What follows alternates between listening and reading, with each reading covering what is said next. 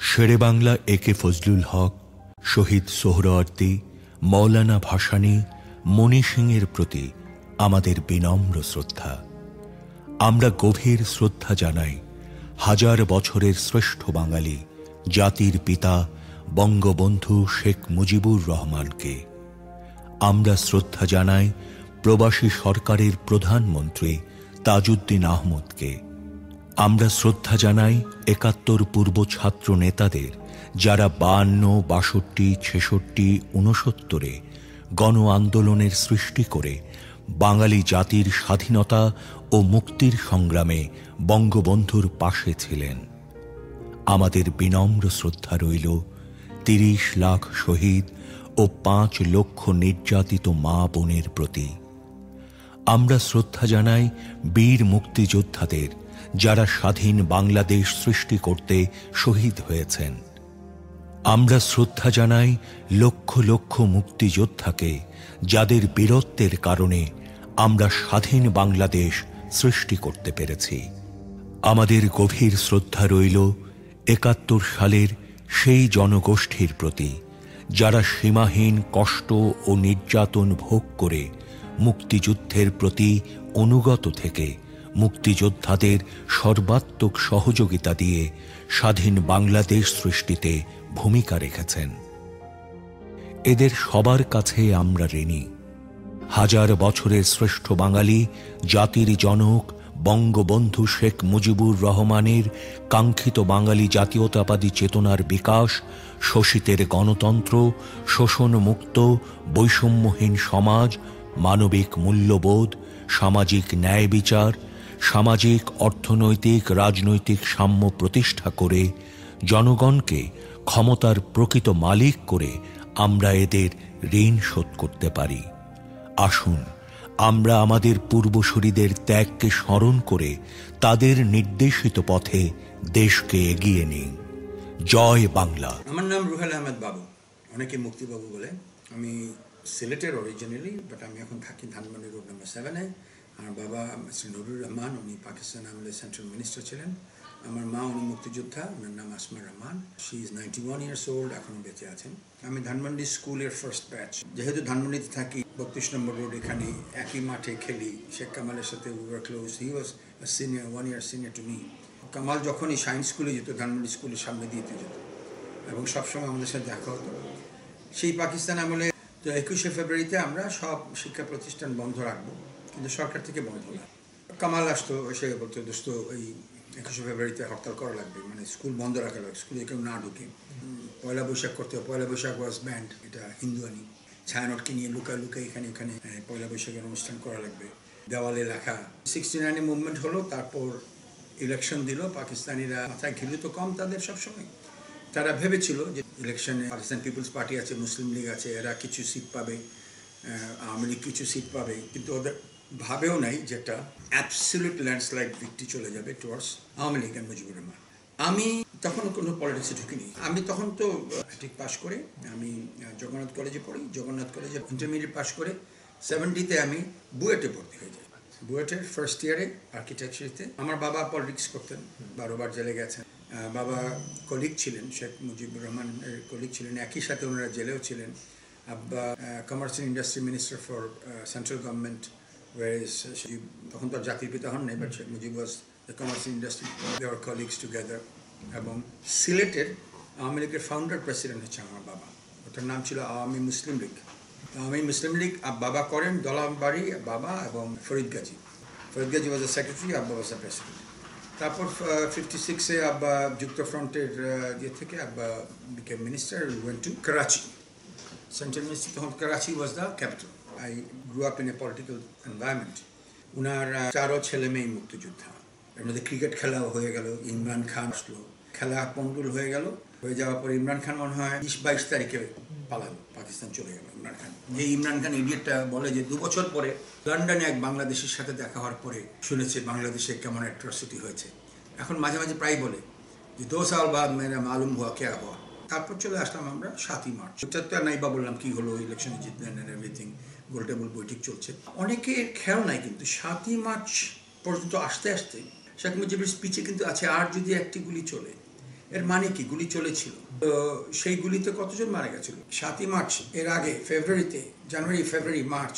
কারণ আমাদেরকে তো ইলেকশন জিতার পরেও হ্যান্ড ওভার করছিল ওরা এই যে একটা টার্ময়েল চলছিল বিভিন্ন জায়গা থেকে খুলনা থেকে সিলেট থেকে তেজগাঁ থেকে নারায়ণগঞ্জ থেকে এইসব জায়গা থেকে আন্দোলন হচ্ছিল যে আমাদেরকে দিচ্ছে না। অলরেডি বারো হাজার মানুষ মারা গেছে কিন্তু। এটা অনেকেই জানে না। তখন ওই যে রক্তের উপরে দিয়ে হেঁটে আমরা যেতে পারব না পার্লামেন্টে। এই যে তোমরা ব্যারাকে ফিরে যাও, তোমরা আমাদের ভাই। তখন সাতই মার্চের সেই ভাষণ। আমার বাবা তখন ন্যাপ করেন। আমরা তো রেডি আমরা সাতই মার্চের ভাষণে যাব। আমি তখন আমাদের একটা জিপ ছিল লেফট হ্যান্ড ড্রাইভ জিপ তো আমরা চারজন, আব্বা বললেন যে আমিও যাব। আমি গাড়ি চালিয়ে রাজু ভাস্কর্য যেটা এখন আছে, ওখানে কোনো ভাস্কর্য ছিল না, ওই জায়গায় পার্ক করেছি। ওই রাউন্ড অ্যাবাউট যেটা, ওটাতে গাড়িটা পার্ক করে আমরা হেঁটে হেঁটে, আমরা যতটুকু কাছে যাওয়া যায় যাচ্ছি, আস্তে আস্তে আগায় যাচ্ছি, আস্তে আস্তে আগে যাচ্ছি। তারপর তো শেখ সাহেব আসলেন, এসে ভাষণটা দিলেন। সেই ভাষণে আমার বাবা বারবার বলছিলেন, খেয়াল করিস তো, পাকিস্তান জিন্দাবাদ বলে কিনা? এবং এই স্পিচটা তো ভেরি ভেরি ইম্পর্টেন্ট তখন উনি যে স্পিচটা দিলেন almost is officially declaration of independence স্বাধীনতার সংগ্রাম, এবারের সংগ্রাম স্বাধীনতার সংগ্রাম, মুক্তির সংগ্রাম এবং স্বাধীনতার সংগ্রাম। বলে দিলেন যে তোমাদের সাথে থাকতে পারব না বাট অফিসিয়ালি যদি বলে দিতেন যে আমি ইন্ডিপেন্ডেন্ট দেখলাম তবে তো ট্রিজন হয়ে যেত।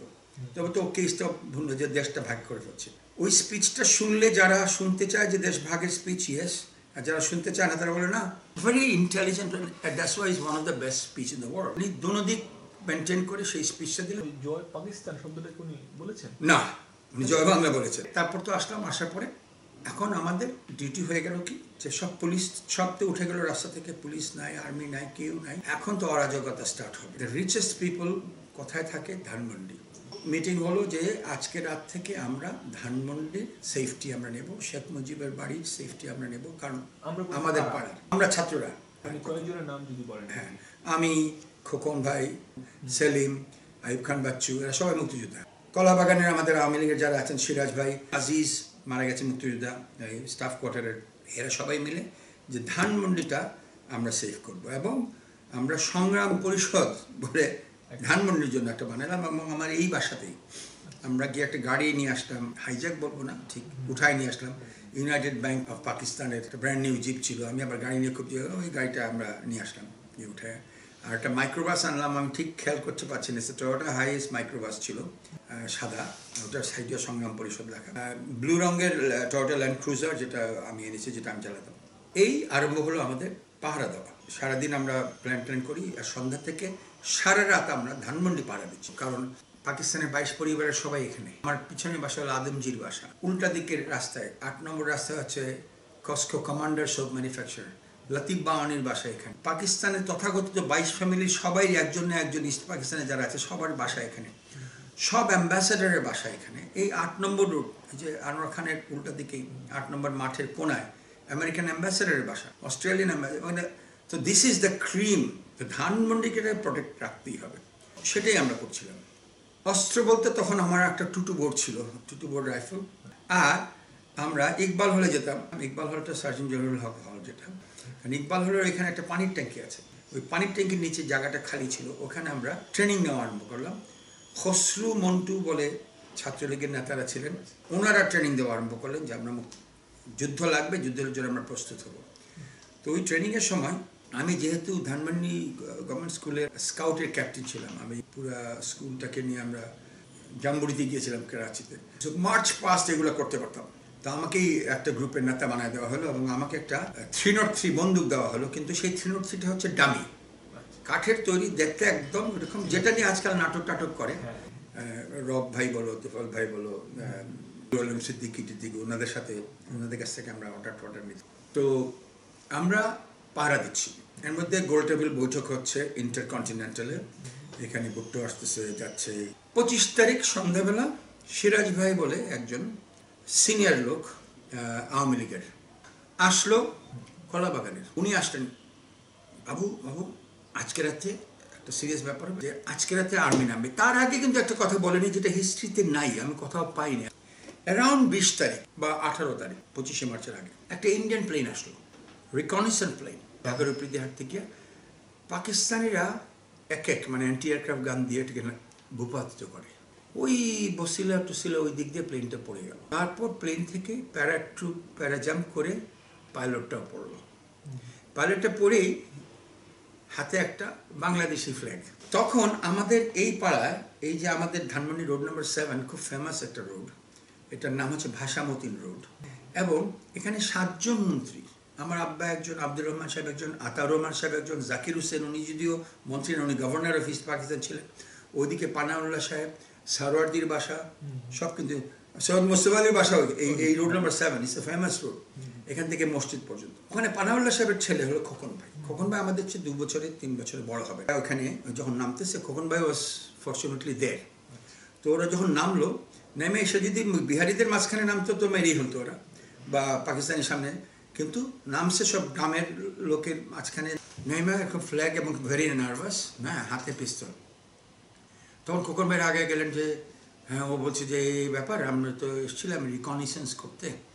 তো আমাকে যেমন করে পারো, আমাকে ইন্ডিয়া পৌঁছাই দাও। আর সাথে সাথে করল কি, ওই এয়ারফোর্সের যে জ্যাকেটটা থাকে জিপার টিপার লাগানো একটা জ্যাকেট আছে না তাদের, সেই জ্যাকেটটা খুলে ফেলল। খুলে খোকন ভাইয়ের কাছ থেকে, খোকন ভাই কাপড়গুলো নিয়ে পরে ফেলল। তো খোকন ভাইয়ের সাথে সাথে ওই জ্যাকেটটা পরে ফেলেছে তো সন্ধ্যাবেলা যখন খোকন ভাই আসছে, দেখি ওই জ্যাকেট। ওনার হয় না। খোকন ভাই একটু ছোটোখাটো, আমার সাইজ আবার একটা টর্চ লাইট আছে, এটা লাল হয়, নীল হয়। একটা বন্দুক আছে যেটা ফ্লেয়ার গান ওই যে Indian pilot and he was sent to hopefully he was sent to India এই ঘটনা আমি কোথাও পাই না। তো সেই খোকন ভাইকে নিয়ে আমরা তো ঘুরি। খোকন ভাই খুব ভালো গাড়ি চালান, আমিও ভালো গাড়ি চালাই। পঁচিশ তারিখ সন্ধ্যাবেলা যখন সিরাজ ভাই এসে বললেন যে ব্যারিকেড দেওয়া লাগবে এই কলাবাগান বাস স্ট্যান্ড যেটা যেটাতে এখন সব ট্রাফিক পুলিশগুলো দাঁড়িয়ে থেকে লেকের মোড়টা এখানে বিকট বড় একটা গাছ ছিল। আম গাছই কিন্তু অনেক পুরনো। শত বছর পুরনো একটা আম গাছ তেড়া বেড়া হয়ে এরকম বড় সাইজ মানে বট গাছের মতো হয়ে গেছে। বট গাছের মধ্যে এবং ডালপালা সব রাস্তার এই পার পর্যন্ত চলে আসে। উইদিন টু আওয়ার্স কলা বাগানের সব লোকজন সেই গাছ কেটে ফেলে। আমাদের তো কোনো ধারণা নেই যে ট্যাঙ্কের জন্য এটা কিছুই না। হ্যাঁ আমরা তো ভাবছি যে হয়ে গেছে। হয়ে গেছে। তারপর বিভিন্ন জায়গায় জিকাতলা, টিকাতলা, যেদিকে যাচ্ছি বলে ব্যারিকেড দাও তো মানুষের দোকান, পাট, এই, সেই এই না? রাস্তা খুঁড়ে ফেলতে সেই খুঁড়ে টুড়ে, যে পাকিস্তান নামতে দেবো না। আর আমাদের ডিউটি হচ্ছে যে যেমন করে হোক শেখ সাহেবের বাসা আমরা পাড়া দেবো।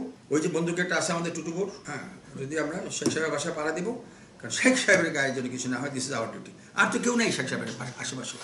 তো এই খুব টায়ার্ড হয়ে গেছি রাতে। তো আমরা ঢাকা কলেজের ঠিক উল্টো দিকে একটা রেস্টুরেন্ট ছিল, ওটার নাম চিটাগাং রেস্টুরেন্ট তখন কিন্তু ঢাকা কলেজের ওখানে যে মিরপুর রোডটা ছোট, তারপর একটা ফুটপাথ তারপর একটা রোড ওই যে সাইড রোড বলে না? ওই সাইড রোডের মধ্যে চিটাগাং রেস্টুরেন্ট এখন ওটা গাউসিয়া মার্কেট হয়েছে হ্যাঁ। চিটাগাং রেস্টুরেন্টে গিয়ে আমরা আটানা আটতে খাইতাম, বুন্দিয়া, এক প্লেট আর দুটা পরোটা আটানাতে ওইটাই আমাদের ডিনার হয়ে যেত। ওইটা যখন খাচ্ছি, তখনই গুলির শব্দ শুনলাম। রাত তখন দশটা, সাড়ে দশটা। তো টয় বলে একটা ছেলে ছিল এখনও আছে টয় যে মিজান রহমান শেলির ছোট ভাই ওর নাম টয় টল টলস্টার টয় হ্যাঁ ধানমন্ডি ক্লাবে তো টয়ের কাছে একটা পিস্তল ছিল ইলিগাল পিস্তল। তা আমি বলতেছি যে টয় নিশ্চয়ই গুলি করা আরম্ভ করছে উল্টা পাল্টা। কেন আমরা গুলি করছি? প্যানিক প্যানিক করে দিচ্ছি। অ্যাকচুয়ালি আমাদের ধারণা নাই। তখন কিন্তু পাকিস্তান আর্মি অলরেডি পিলখানে অ্যাটাক করছে। হ্যাঁ ওই গোলাগুলিতে আমরা পিলখানা হ্যাঁ। আচ্ছা। তখন খোকন ভাই লাভ দিয়ে বলল যে ওঠো গাড়িতে আমাদের সাহেব বাসায় যেতে হবে, গোলাগুলি আরম্ভ হয়ে গেছে। আচ্ছা ওই যে, ওই জ্যাকেট যখন খোকন ভাই দিলেন না আমাকে, তখন আমি আবার দিতে গিয়া, এই টেইলারে গিয়া আমি এরকম একটা জ্যাকেট বানাইলাম। গাঢ় সবুজ রঙের ওভারঅল এখানে আবার একটা বাংলাদেশি ফ্ল্যাগ লাগালাম যে ফ্ল্যাগ ওই যে লালের ভিতরে হলুদ। আমি লাভ দিয়ে বনেটের উপরে উঠে গেলাম। খোকন ভাই গাড়ি চালাচ্ছেন, ভিতরে আমার আমার ছোট ভাই সেলিম, বাচ্চু, এরা সবাই গাড়ির ভিতরে। গাড়ি রওনা দিল। পরে জানলাম যে অলরেডি তারা পিলখানা হ্যাজ ডেমলিশ পিলখানা বিডিআরকে যা আমরা মেরে ফেলছে ওটাতে বিডিআর ছিল না ইপিআর ছিল ইস্ট পাকিস্তান রাইফেল বাঙালিদেরকে নিরস্ত করে তারা রাজার রাজারবাগ যাচ্ছে। আর্মি প্রথম কথা হচ্ছে যে সবচেয়ে পাওয়ারফুল কারা? আর্মির পরে ইপিআর ইপিআরকে প্রথম নিউট্রালাইজ করো তারপর পুলিশকে নিউট্রালাইজ করো তারপর আনসারকে নিউট্রালাইজ করো। করলেই তারপর স্টুডেন্টকে করো এটি this this was the search লাইটের প্রোগ্রাম তো ওরা যখন যাচ্ছে এই যে দুই নম্বর রোড নিউমার্কেট থেকে আসতেছি দুই নম্বর রোডটা আছে না হাতে বায়ে যেটা স্টার কাবাবে যাচ্ছ। এইখান থেকে দেখি অনেক ট্রাক বেরোচ্ছে সাজো গাড়ি ভম ভম ভম ভম করে বেরোচ্ছে। ঢাকা কলেজের সামনে দিয়ে আমরা আসতেছি। আমরা সামনাসামনি পড়ে গেছি। স্পষ্ট মনে আছে আমাদের গাড়িতে আবার একটা ডান্ডার মধ্যে বাংলাদেশি ফ্ল্যাগ বনেটের উপরে আমি বসা সেই ডামি থ্রি নোট থ্রি আর ভিতরে খোকনমায় গাড়ি চালাচ্ছে। আমাদের গাড়িটা দেখে ট্রাকগুলো সব থেমে গেল এবং এইভাবে হাত তুললো এবং আমাদেরকে যাইতে দিল। পরবর্তীতে ধারণা যেটা হলো যে সেটা তারা ভাবছে পাকিস্তানি আর্মি অফিসার কারণ অফিসাররা তো জিপ নিয়ে ঘোরাঘুরি করছে আর ট্রাক তো চারিদিকে যাচ্ছে।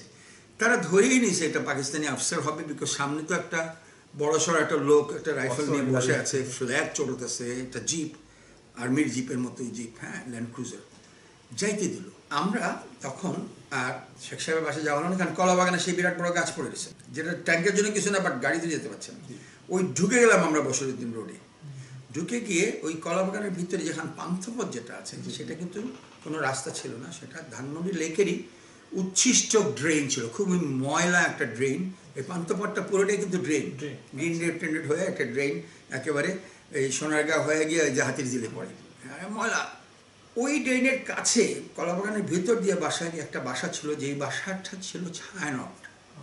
এমনি অন্যান্য কাজ হতো কিন্তু মঙ্গলবার দিনে আর শনিবার দিন ওই ছায়ানটের গান সেখানে হতো। সেইখানে গাড়িটা রাখা হলো। রাখা হয়ে সেই ডোবা পার হয়ে আমরা বত্রিশ নম্বর এখন যেখানে সবাই ভিড় করে চানাচুর চুনাচুর খায় সেখানে তার ঠিক উল্টা দিকে ওই পানির মধ্যে একটা দোকান ছিল এটার নাম ছিল ওকে স্পোর্টস। এটা পাকিস্তানি একজনের দোকান শিয়ালকোটের সব খেলার সরঞ্জাম বেচে। এবং বাংলাদেশের বিগেস্ট খেলার সরঞ্জামের দুইটা দোকান ছিল, একটা হলো হিমালয়া স্পোর্টিং স্টেডিয়ামে আমাদের এই যে, কি স্টেডিয়াম ওটা? গুলিস্তান স্টেডিয়াম যেটা, ওটার নিচে আর এটা হলো ওকে স্পোর্টসটা ছিল, খুব বড় ব্যবসা। সেই ওকে স্পোর্টসের ওখান থেকে আমরা চার পাঁচজন খোকন ভাই সামনে। খোকন ভাই রাস্তাটা ক্রস করে উনি, ওই যে ওনার তো আছে, উনি বলছেন, আমি সবুজ লাইটটা দিব, দিলে তোমরা ক্রস করবে। চারিদিকে কিন্তু গোলাগুলি হচ্ছে। এবং আমরা আকাশে দেখতে পাচ্ছি ফুলিঙ্গ। ওটাকে বলে ট্রেসার রাউন্ড ট্রেসার রাউন্ডটা হচ্ছে যে মেশিন গান থেকে যখন গুলি হয়, তো রাত্রেবেলা যখন গুলি হয়, ওই বেল্টের মধ্যে প্রতি পনেরোটা বা বিশটা রাউন্ডের পরে একটা রাউন্ড থাকে যেটা কিলিং এফেক্টিভনেস কম, কিন্তু ওটা ফুলিঙ্গ হিসাবে যায়। তো তুমি জানো কথায় গুলি গুলিগুলো যাচ্ছে। কখন ভাই? তখন আমরা বুঝতে পারছি না কত সিরিয়াস ব্যাপারটা। Already they have gone to বত্রিশ নম্বর কখন ভাই? ক্রস দ্য রোড সেই পান্ডালের সবাই ছেলে। এবং সাথে সাথে দুইটা জিপ এসে দাঁড়াইলো। অনেকগুলো গুলি শব্দ হচ্ছে চারিদিকে। এসে বলল গিয়া সালাম, মার গিয়া?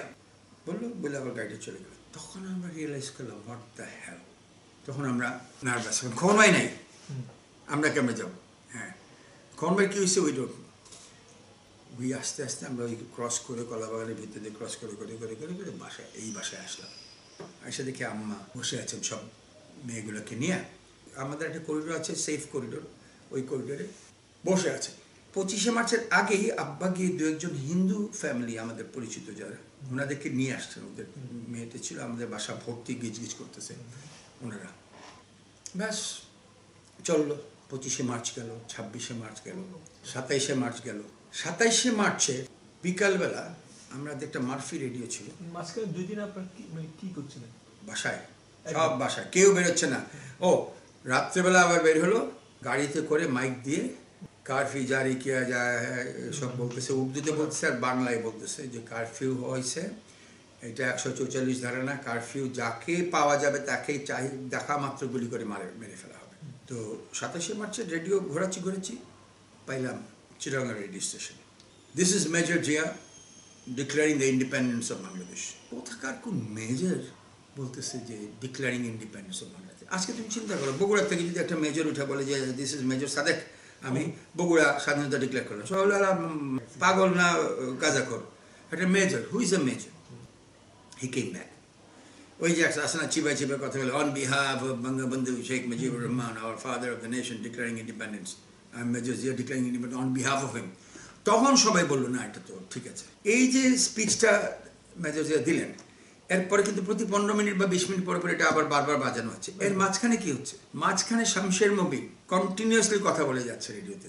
উনি বলে যাচ্ছেন we are requesting all the international authority all the international countries to recognise the people's republic of Bangladesh we have declare independence and আবার বলতেছে we are requesting all the college and university students to join the people's revolution force of Bangladesh তখন মুক্তি বাহিনী নামটা মানি but radio স্টেশনটা এত week যে ঢাকাতে কোনো মতো ধরে কোনো মতো চলে না। আমার রেডিওর আবার আমাদের যে কাপড় শুকাইবার যে লম্বা তার ছিল সেই তার আইনে আমরা ঢুকেছি রেডিওর ভিতরে। সুতরাং যেটা ভালো রিসিপশনটা ভালো তাও আসে আর চলে যায়। কারণ এটা টেন ওয়াটের একটা স্টেশন আজকাল তো এক হাজার ওয়াট হয়। তো যাই হোক তো নিজের গানে শোনা সেটাও। আঠাশ তারিখ সকালবেলা কারফিউ উঠানো হলো। উঠানোর সাথে সাথে দৌড়ে গেলাম কলাবাগান। কলাবাগান থেকে এসে গাড়িটা বাইর করলাম। বাইর করে আমরা খুঁজতে গেলাম খোকন ভাইকে। ওখানে গিয়ে পাই না। আমরা যখন খুঁজতেছি তখন বলল কী খুঁজতেছে? এখানে তো বলে আপনি সোবানবাগ মসজিদে যান ওখানে একটা লাশ দেখছি। ওই আমরা তখন সোবানবাগ মসজিদ এটা এটা এত লম্বা ছিল না তখন। আর ভিতরে দেখি বারান্দার মধ্যে খোকন ভাইয়ের লাশ। উঠাইলাম লাশ নিয়ে আসলাম এর বাসায় এখানে সাত নম্বরে। খুব তাড়াতাড়ি হাঁস হাঁস একটা জানাজার মতো করে বললেন যে আজিমপুরে নিয়ে যাও। ওখান থেকে বাসা থেকে একজন উঠল আমি আর সেলিম। লাশটাকে নিয়ে আমি আজিমপুর গরুস্থানে গেলাম। গরুস্থানে যাওয়ার পথেই দেখতেছি লাশ। চারিদিকে লাশ। ওখানে যাওয়ার পরে একজন এসে আপনার এখানে কী করেন? ভাগেন এখান থেকে। এই লাশটার ওখানে রাইখা। একশো টাকা দিয়ে যে ভাই খবর দিয়ে দিয়া উই কেম ব্যাক তখন আঠাশ তারিখ আম্মা বললেন, এতদিন তোমরা সংগ্রাম পরিষদ পরিষদ করছ। চার পাঁচজন আমরা ছেলে বাসায়। আমি, আমার ভাই ছাড়াও যে বললাম বাকিরা যুদ্ধে যাও। আমি তখন I was nineteen twenty nineteen and half আর আমার ছোট ভাই, সে তখন সিক্সটিন হাফ টু সেভেন্টিন এই কি only mother who sent both the kids to war মানে সবাই মুক্তিযুদ্ধে গেছে বেশিরভাগই মাকে না বলে গেছে, আর বেশিরভাগ হয়তো বোনকে বলে গেছে বা চিঠি লিখে গেছে, বা বাবাকে পর্যন্ত বলে গেছে বাট মাকে বলে কেউ যায়নি। দু একজন হয়তো গেছে এই যে সিঙ্গার ছিল, ও মাকে বলে গিয়েছিল। আমার মা বাসা থেকে আমাদের দুজনকে তাড়িয়ে দিলেন, যুদ্ধে যাও সাথে ডিসিশন নিলাম আমি। কলকাতা যাব। কারণ ঢাকা থেকে কলকাতা ছাড়া তো আর কিছু ছিল না। ওই গাড়িতে করে আমাদের জিনিসপত্র যা ছিল সব ভরলাম। মা ডাকলেন, পিছন থেকে ডেকে বললেন, বাসায় কোনো টাকা পয়সা নেই, সাতশো রুপিস আছে। এই সাতশো রুপিস দিলেন। দিয়ে যখন চলে যাচ্ছে, উনি আবার আমাকে ডাকলেন। সবাই আমরা যখন চলে যাচ্ছি, আমাকে ডাকলেন। খোদা না করুক, যদি শুনি গুলি লাগছে, গুলি যেন বুকে লাগে, পিঠে যেন না লাগে। হ্যাঁ দ্যাটস মাই মাদার আমার তিনটা গুলি কিন্তু পায়ে লাগছে, পিছন দিক থেকে লাগছে। কিন্তু আমার কথা হলো, গুলি লাগে সামনে থেকে লাগে আমার মামাকে মাকে জীবনে কাঁদতে দেখিনি তখন। প্রচণ্ড সাহসী না কারণ নানি কংগ্রেসের সময় উনি হরতাল করছেন। নানি বোরখা পইরা উনি প্রসেশনে গেছেন। সেই নানির মেয়ে, একমাত্র মেয়ে। তারপর আমরা রওনা দিলাম আঠাশ তারিখে। আমরা চারজন। আমি, সেলিম, আমার ছোট ভাই সোহাল আর বাচ্চু আইব খান বাচ্চু। আমি গাড়ি চালাচ্ছি। আমরা চারজনই মুক্তিযুদ্ধ হয়েছি শেষ। আমরা কারফিউ উঠে যাচ্ছে, ঢাকা থেকে বেরোবো। আমরা জয়েন্ট কোয়ার্টার বলে একটা জায়গা আছে শ্যামলিতে। শ্যামলিতে ওখানে আসতেই অনেক বিহারি আমাদের গাড়ি আটকে দিল এবং নাইমা আমাকে পিটানি আরম্ভ করব টাকা পয়সা যা ছিল ওগুলো তো নাই, ওগুলো তো নিয়ে নিছে। আমাদের বন্দুক বন্দুক যা আসছিল একটা টেলফান ক্যান, একটা ট্রেনিস্টার রেডিও ছিল, এটাও নিয়ে গেছে বিহারিরা। কিন্তু বিহারিরা আমাদেরকে একটা বিরাট বড় উপকার করল। তখন মিরপুরে লোহার পোল বলে একটা ছিল, সেইখানে সব ছাত্রদের ধরে জবাই করতেছে। আমরা যদি এটা পার হয়ে যাইতাম, তো আমাদের এখানে জবাই করতো মিরপুরে। কারণ মিরপুর পার হইতে আমাদের যেতে হতো। তো এটা বিরাট ওটা বেঁচে গেলাম। সেকেন্ড টাইম বাঁচলাম খেয়াল করো হ্যাঁ? দুই নম্বর রোডের সামনে একবার বাঁচলাম এখানে একবার বাঁচলাম।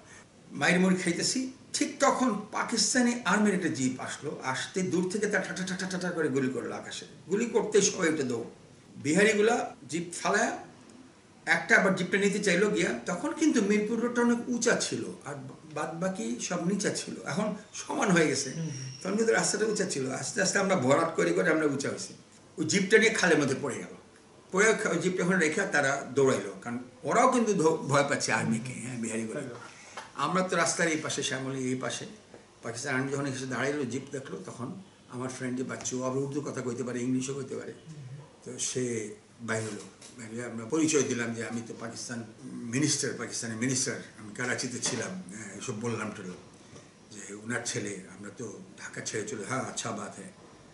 এখন কী করে যাবে কার্ফিউ তো হয়ে গেছে, এখন তো গাড়ি আট বলল, ঠিক আছে, আমরা গাড়িটা তুলে দিই। তারা এই গাড়িটাকে, তারা আবার গাড়িটা ফেরত গেল, দুজন থাকল এখানে, ফেরত একটা দড়ি নিয়ে আসলো। তাদের হেডকোয়ার্টার ছিল অন্ধ মুখ ও বধির স্কুল একটা আছে। ওটার নাম ছিল আইব গেট যেটা আসাদ গেট হয়েছে। ওখান থেকে তারা দড়ি নিয়ে আসলো। আয়না দড়ি উড়িয়ে লাগায় জিপটা টানার চেষ্টা করল, ওদের ট্রাক দিয়ে। উঠল না জিপ তোমরা জিপে উঠো। অলরেডি কারফিউ হয়ে গেছে। আমরা জিতে চারজন বসে আছি। অন্ধমুখের সামনে আসলাম প্রথমে। ওখান থেকে ভিতরে গেল, কী কী জানি পারমিশনটা নিল ক্যাপ্টেনটা নিয়ে বলল, ঠিক আছে, চলো তোমাদের নামাই দিয়ে আসো। এই গাড়ি চালায় সাত নম্বর রোডে আমাদের বাসার সামনে, এই বাসার সামনে আসলো। তখন অলরেডি এক দেড় ঘণ্টা হয়ে গেছে কারফিউ চারিদিক থেকে সবাই জানলা দিয়ে দেখতেছে যে এখানে এসে মারবে নাকি গুলি করে। পরে দেখলাম, না, নামলো। আমার আব্বা সামনে আসলেন। আব্বা তো বুদ্ধ কথা বলতে পারেন। যে এই ব্যাপার, যে পাঠিয়ে দিচ্ছিলাম ঢাকার বাইরে, কারণ ঢাকার অবস্থা বলেন। হ্যাঁ হ্যাঁ আচ্ছা কি আর? আপনি ভেজে দিয়েছি। আবার ঢুকলাম বাসায়। মানে আরেকবার বাইচে আসলাম আর কি হ্যাঁ। তারপর আম্মা বললেন নাথিং ডুইং তারপর তো আঠাশ তারিখ গেল উনত্রিশ তারিখ মানে ত্রিশ, একত্রিশ মানে হয়তো দুই, তিন তারিখের ভিতরে আবার ডিসাইডেড টু গো টু এইবার সিলেট যাব। ততক্ষণ আমরা টের পেয়ে গেছি যে ইকবাল হল শেষ এটা শেষ, লক্ষ লক্ষ লোক মারা যাচ্ছে, এগুলো সব হয়ে গেছে। এখন সিলেটে যাব। আমাদের একটা গাড়ি ছিল কনসাল কোটিনা, সেই গাড়িতে করে আমাদের সিলেট যেতে তখন পাঁচটা ফেরি পার হতে হতো এই প্রথম ফেরির ঘাটে আমাদেরকে নামা দেওয়া হলো। নরসিংদী পার হয়ে আমরা যাব। আমরা বারো দিন লাগল আমাদের। এই গ্রাম, সেই গ্রাম, হাইটটা, নৌকায় আমরা সিলেটকে পৌঁছালাম। সিলেট তাও সিলেটের পিছন দিক দিয়ে, আখালুকির এই হাওয়ার পার হয়ে সিলেটের ভাদেশ্বর বলে একটা জায়গা আছে। এই ভাদেশ্বর দিয়ে ঢুকলাম, ভাদেশ্বর আমার নানা বাড়ি। রাত্রে তিনটার সময় এসে নানা বাড়িতে উঠলাম।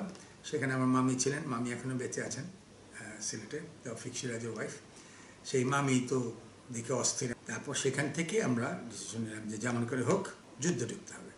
আমার ছোটো ভাইকে ফাঁকি দিয়া আমি প্রথমে এক গ্রামে ওটার নাম হচ্ছে রনকেলি রনকেলিতে বসে আছি। হঠাৎ দেখি একটা জিপ রাস্তার এপারে পরে একবার, ওই পারে একবার চালাচ্ছে। তা আমি সামনে গিয়ে দাঁড়াইতেই জিপটা এসে দাঁড়াইছে। দাঁড়ায় ওই ছেলেটা বলতেছে, আমি তো ড্রাইভার না, আমি হ্যান্ডুম্যান মানে যে আগে ছিল না কন্ডাক্টর বলতো হ্যান্ডেল মারতে হয় বাসে। কোনরা জোর করে আমারে যেহেতু আমি হ্যান্ডুম্যান তুই গাড়ি চালাতে পারোস। এখন ইপিআর কেউ গাড়ি চালাতে পারে না। তখন আমি একটা স্যালুট দিয়ে করলাম যে আমি গাড়ি চালাতে পারি। হ্যাঁ বলেন কি গাড়ি চালাতে হ্যাঁ আমি ইকবাল হলের ছেলে ইকবাল হলের ট্রেনিং নিয়েছি ইস, ইকবাল হল কী হয়েছে ইকবাল হলের ঘটনা বলেন। তো বললাম যা যা জানি। যেরকম লাশে লাশ ভরে গেছে দেখতে সাথে সাথে একটা স্ট্যান্ড গান ধরাই দিয়ে বলল এই এটা এই পজিশন এটা এই পজিশন এটা। ড্রাইভার যেহেতু তোমার স্ট্যান্ড গান থাকবে স্ট্যান্ড গান একটা গাড়ি দিতে হলো এই ঢুকে গেলাম আমি। আমরা কয়েকদিন মুক্তাঞ্চল যেটা সিলেটের বৈঠকের পর্যন্ত আমরা দখল করে রাখলাম ইপিআর রাই রাখল।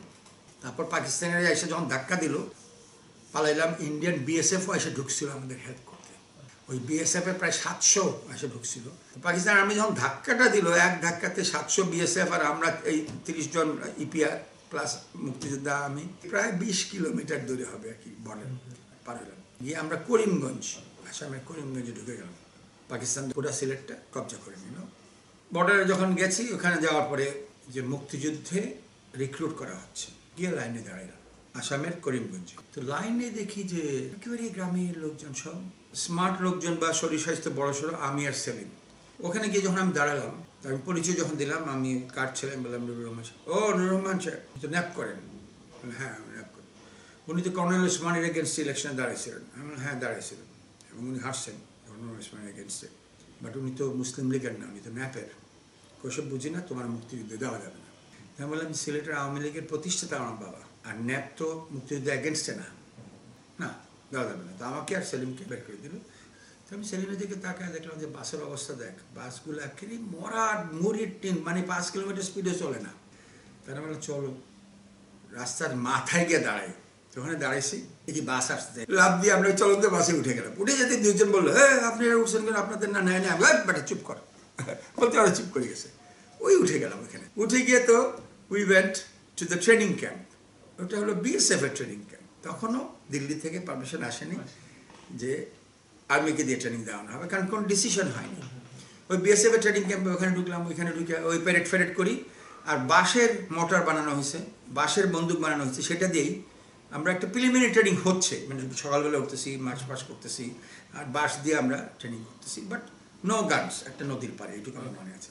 তারপর হঠাৎ একদিন আসলো যে তোমাদেরকে নিয়ে যাওয়া হবে ভালো ট্রেনিংয়ে কিচ্ছু বলা হলো না। তারপর দেখি বিকালবেলা অনেকগুলো বড় বড় ট্রাক ইন্ডিয়ান ট্রাক শক্তিমান, দেখি আর্মির লোকজন নামলো সিরিয়াস অন্য চেহারা ওরা সবাই।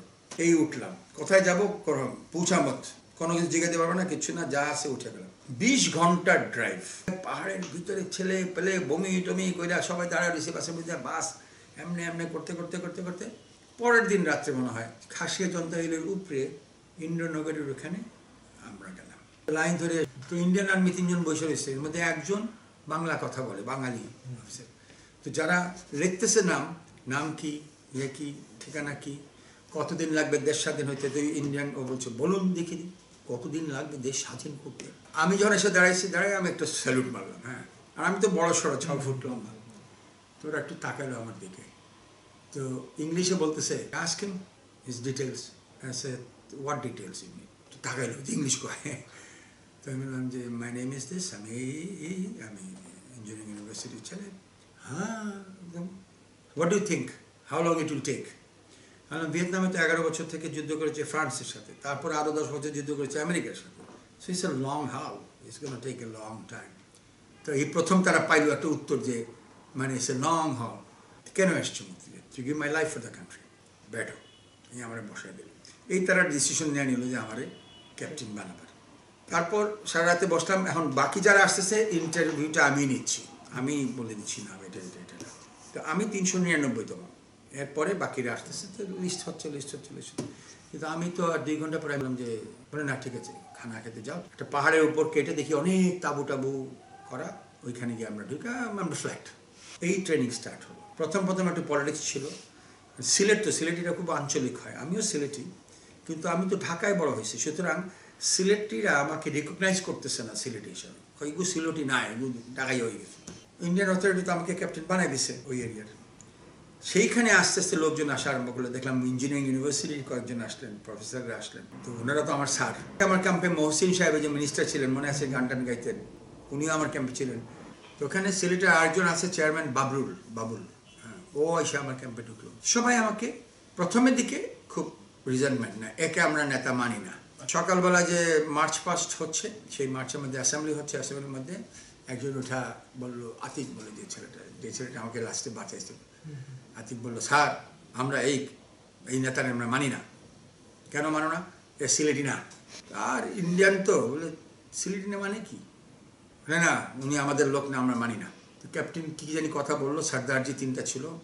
ওদেরকে বলল, বলে বলল দিস ইজ আর্মি টেনশন অবস্থায় থাকো, আমি আসছি। বলে চলে গেল। ভাই, তিন ঘণ্টা দাঁড়ায় আছে। আর এই সর্দারজিগুলো ঘুরতেছে, হাতে একটা যে নাড়ে, তারাই মারে।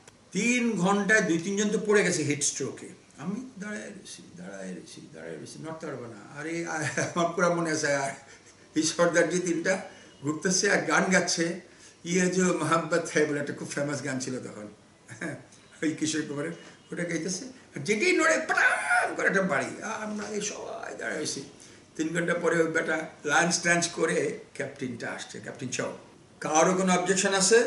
রুয়েল আহমেদ বাবু, ক্যাপ্টেন, না স্যার, একসাথে সবাই। না স্যার, কোনো অবজেকশন নাই। এটা অ্যাবসলিউট কমান্ড ইনসাবর্ডিনেশন বলে একটা জিনিস আছে, তোমরা যদি করবা কোর্ট মার্শাল হবে। এই আমাকে লিডার সিলেক্ট করে দেওয়া হলো। যখন আমার ক্যাম্পটা অনেক বড় হয়ে গেলো, আরেকটা ক্যাম্প খোলা হবে, তখন colonel Bagchi of Indian army উনি এসে বললেন যে, আরেকজনকে তুমি দাও, যে আরেকটা ট্রেনিং ক্যাম্প করব। কারণ আমার এটা স্যাচুরেটেড হয়ে গেছে। তখন আমি বাবরুলকে এই বাবরুল পরে সিলেটের চেয়ারম্যান হয়েছিল, বাবু এখন বেঁচে আছে। বাবুলকে বললাম, বাবুল, তুমি আরেকটা দল করো। বাবুল বলল, আমার কিছু ফলোয়ার আছে, এদেরকে নিয়ে যাও নিয়ে যাও। বাবুল ত্রিশ জনকে নিয়ে ওখানে গিয়ে, Babul became the captain of that আর সাদি বলে আরেকজন ছিল, সাদি মারা গেছে জাসদ করতো, ওর একটা ক্যাম্প এই তিনটে ক্যাম্প ইন্দ্রনগরে আমরা ট্রেনিং নিলাম। ট্রেনিং প্রায় দেড় মাস। ট্রেনিং শেষ হলো। ট্রেনিং শেষে আমাদেরকে নিয়ে যাওয়া হলো, নিয়ে গিয়ে এই কুকিতাল সাবসেক্টর সাবসেক্টর ফোর সেটাতে নিয়ে আমাকে লিডার করে সাই বিকেম এ সাবসেক্টর কমান্ডার যদিও তুমি গুগল করলে আমার নাম পাবা না পাবা স্কোয়াড লিডার নুরুল কাদেরকে পাবা কারণ আমি তো ইনজুর্ড হয়ে চলে গেলাম দ্য নুরুল কাদেরকে। মুক্তিযোদ্ধারা খুব কষ্টে খাওয়া দাওয়া নিয়ে কষ্ট ছিল আর্মস এমনেশনের কষ্ট ছিল প্রায় শুনবা। যারা ক্র্যাক প্ল্যাটুনে ছিল যারা ঢাকায় ছিল। মুক্তিযুদ্ধ মেইনলি হয়েছে দুভাবে। একটা হচ্ছে যে শহরের ভিতরে ঢুকে ক্র্যাক প্ল্যাটুন যেমন এখানে লুকাচ্ছে ওখানে লুকাচ্ছে ওই ছোটো ছোটো গান আছে একটা গ্রেনেড আছে হ্যাঁ একটা এক্সপ্লোসিভ আছে। এবং খাওয়া দাওয়া totally depending on the local people সেটা একটা। আরেকটা ছিল কনভেনশনাল কনভেনশনাল ছিল আমরা ছিলাম ইন্ডিয়াতে ভিতরে ঢুকতাম, এসে একটা ব্রিজ উড়ে দিয়ে আবার চলে যেতাম। আমাদের কিন্তু ঠিক উল্টো, আমাদের খাবারের কোনো অভাবই ছিল না। কারণ আমার ক্যাম্পে ছয়, সাতশো জন লোক ছিল, সবসময় দুশো জন ভিতরে। কিন্তু ইন্ডিয়ান আর্মি আমাদেরকে রেশন দিত ছয়শো জনেরই। তো দুইশো জনের খাবার তো রাঁধতে হচ্ছে না। এই বেদানন্দই বলবে আর কি, বেদানন্দ স্টোর কিপার ছিল। বেদানন্দ স্টোর ভরে যাচ্ছে খাবারে। প্রথম প্রথম আমাদের যারা মারা যেত, আমরা খবর দিতাম ইন্ডিয়ান আর্মি গিয়ে ক্যান্টনমেন্ট বলতাম, আমাদের তিরিশ জন মরে গেছে। তো তিরিশ জনে কম দিত। আমি দূর, এখন তো জানামই না মরছে কেউ। হ্যাঁ তো খাবার বেশি দিত। এই খাবার নিয়ে পরে পরে আমরা রিফিউজি ক্যাম্পে গিয়ে দিয়ে আসতাম। এবং আমাদের খাবার দিত যেটা আমরা খেতে পারতাম না, কারণ ইন্ডিয়ান আর্মি যেটা খায় সেটা দিত। তারা চাউল কম দিত, রুটি বেশি দিত। মানে রুটি তো না, আটা, চিনি, ডালডা, সিগারেট পর্যন্ত দিত। চার মিনার সিগারেট এক একটা, এক একজনের এক এক প্যাকেট করে। সিগারেট পর্যন্ত রেশনে ছিল। এবং আর্মস অ্যান্ড অ্যামিনেশনের আমাদের কোনো অভাব ছিল না। So we are very well fed and well armed আমরা তো আন্ডার কুমার রেজিমেন্ট মানে we are very well funded আমাদের মিশনগুলো আসতো ফ্রম দ্য ইন্ডিয়ান অথরিটি যে এই ব্রিজটা ওরা দিয়ে আসবা, এই এটা করবা, এইটা করবা, এগুলা আসতো, ওরা জানতো স্ট্র্যাটেজিক কোনটা কি উড়াতে থার্ড ডেতেই আমরা লাঠিটিলা বলে একটা জায়গা আছে, ওখানে ঢুকে গিয়ে আমরা একটা পাকিস্তানি ধরে নিয়ে চলেছি হ্যাঁ একটা মাইন পাচ্ছে মাইন পাতে জিপটে উড়ে গেছে, একটা পাঠান একটা ধুইয়া বাইন্দা মুন্দা লয়েছে তো সেগুলোর বেশ কয়েকটা মিশন বেশ কয়েকটা ব্রিজ আমি উড়িয়েছি বেশ কয়েকটা চা বাগান নষ্ট করেছি ট্রান্সফর্মার নষ্ট করেছি। মানে যেটা ডিস্টার্ব করার জন্য ইকোনমি চা বাগান ধ্বংস করলে ইকোনমিটা ধ্বংস হবে ব্রিজগুলো ধ্বংস করলে কমিউনিকেশন ধ্বংস হবে। So that's what we did আমরা যখন ভারতের ক্যাম্প থেকে যখন ইন্ডিয়াতে যেতাম, আমরা বিকাল তিনটের সময় রওনা দিতাম। পাথারিয়া হিলস যেটা, সিলেটের যে পাথারিয়া হিলসটা ক্রস করতে করতে রাত হয়ে যেত। এই রাতে রাতে গিয়ে ধরো ছয় কিলোমিটার দশ কিলোমিটার ঢুকতাম ঢুকে এই যে এইসব আশেপাশের বর্ডারের সব এগুলা করে আবার রাত্রে রাত্রে ফেরত আসতে হতো। It was like a eighteen hours twenty hours journey কোনো কোনো সময় টোয়েন্টি ফোর আওয়ার্স জার্নি হতো। কিছু খাওয়া দাওয়া নিতাম আর্মস অ্যামিনেশন নিতাম দিস দ্যাট হাউকম তো ওই খুব ওইটা টাফ ছিল। এখন চিন্তা করতে পারি না যে দশ কিলোমিটার কাদার ভিতর দিয়ে হেঁটে গিয়ে যুদ্ধ করে আবার এই হেঁটে আসতেছি। এবং আজকে পঁচিশ জন রওনা দিছি, দুই তিনজন মরে যাবে জানি, কিন্তু আমি মরবো না, এটা জানতাম। কেউ যদি জানে আমি মরে যাবে, তো তা যেত না। সবাই মতো মরবে দু একজন, কিন্তু আমি মরবো না। বর্ডার যখন আসতো, পাহাড়ের উপরেই বর্ডারের মধ্যে পিরামিডের মতো এরকম পিলার আছে। সোজা পিলার না, একটা পিরামিডের মতো পিলার একদিকে লেখা ইন্ডিয়া আর একদিকে লেখা ইস্ট পাকিস্তান তো ওটা ক্রস করলেই তো বুঝলাম আমরা বাংলাদেশ ঢুকে গেছি। বাংলাদেশ ঢোকার সাথে সাথে আমার গায়ে কাটা উঠতো তখন মানে এখন শুনলে তোমরা হয়তো হাসবে আমরা wish to be very emotional যে বাংলাদেশে আসছি, সাথে সাথে আমরা বসে যেতাম সবাই মাটিতে, বসে মাটি নিতাম হাতে হ্যাঁ। নিয়ে আমি আমার দেশের মাটি গাইতাম। ছেলেপেলেরা হু হু করে কাঁদতো। এখন শুনলে মনে হবে যে নাটকীয় হতো বাট তখন এটা দরকার ছিল। আমাকে পাইলেই ছেলের সাহেব গানটা গান। আমাদের লিস্টের মধ্যে আসলো যে বড় লেখার হাতমা ব্রিজ, সাতমা ব্রিজ, আর সিলেটিতে সাতরে হা বলে আর কি। সাত করাকে আমরা হাত করা বলি।